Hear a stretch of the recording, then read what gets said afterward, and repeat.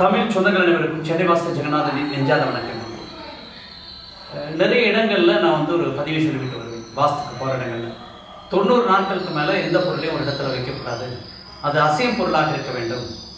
அது ஒரு ஒரு அதிர்வுகளை கொடுக்க வேண்டும். நீங்கள் தொண்ணூறு நாட்களுக்கு மேலாக ஒரு பொருளை ஒரு இடத்துல வைத்திருந்தீர்கள்னு சொன்னால் அது எதிர்மறை பலன்களை கொடுக்கும் என்கிற பதிவுகளை சொல்லும்போது ஒரு இடத்துல வேடிக்கையாக ஒரு மனிதர் கேட்டார். மிக அற்புதமான கேள்வி. இந்த கேள்வி வந்து என்னுடைய வாழ்நாளில் கேட்டது கிடையாது. என்னை சிந்திக்க தூண்டிய கேள்வியாக நான் அதை பார்க்கிறேன்.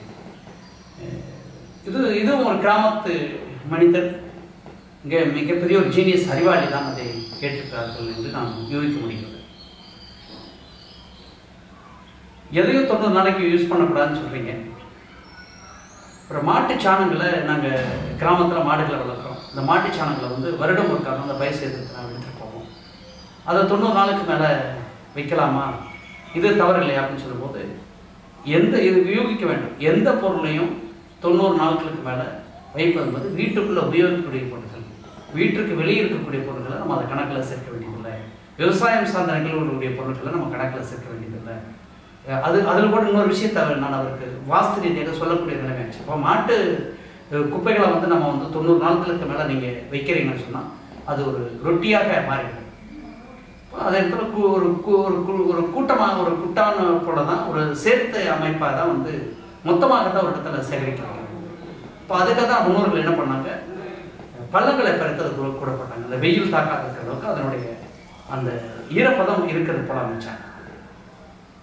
அப்போது இந்த இடத்துல சொல்லக்கூடிய விஷயம் நீங்கள் வந்து வருடம் மூன்று பயிர்கள் செய்றீங்கன்னா நாலு மாதங்களுக்குள்ள மாற்றிக்கொள்ளலாம் வருட விவசாயம் செய்கிறீங்க மானாவாரி இடங்கள்னு சொல்லும்போது நீங்கள் வடகிழக்கில் அந்த கட்டுத்தரை இருக்கக்கூடிய மாட்டு கொட்டகைகள் இருக்கக்கூடிய பகுதியில் வடகிழக்கில் பள்ளம் பறித்து தாராளமாக அந்த குப்பையை போடலாம். அதுக்கு அதனோட பகுதி தான் குப்பை வந்து போடலாமான்னா அது வந்து எருக்களை பொறுத்தளவில் இயற்கை சார்ந்த எரு எருக்களை பொறுத்தளவில் அது மிகப்பெரிய ஒரு பரிகார பொருட்களாக மாறிவிடுது இப்போ சுத்தம் செய்கிறது சாணிகள் தானே பஞ்சகாவியத்தில் தான் எடுக்கிறோம். இப்போ வீடு ஒரு கிழக்கு பிரவேசம் செய்யணும்னா மாட்டோட கழிவு தானே. இப்போ அதை வந்து நீங்கள் வாஸ்து ரீதியாக செய்ய வேண்டியது அந்த குப்பைகளை நீங்கள் வந்து தயவு செய்து வடகிழக்கு பகுதியில் மேடையாக அது மிக மிக முக்கியம். அப்போ அந்த பகுதியில் எங்கே போடலாம்னா தாராளமாக தென்மேற்கு பகுதியில் கூட போடலாம் தென்கிழக்கு பகுதியில் கூட போடலாம். வடமேற்கு வடகிழக்கு தவிர நீங்கள் எல்லா இடங்களிலும் மேல் அமைப்போட பூமியோட மேற்பரப்பில் மொத்தமாக சேகரித்து வைக்கலாம். பூமியின் தரைப்பகுதியில் போடுவதாக இருந்தால் வடகிழக்கு மட்டுமே சரியான இடம். மீண்டும் ஒரு நல்ல வாஸ்து கருத்தோடு சந்திப்போம். நன்றி வணக்கம்.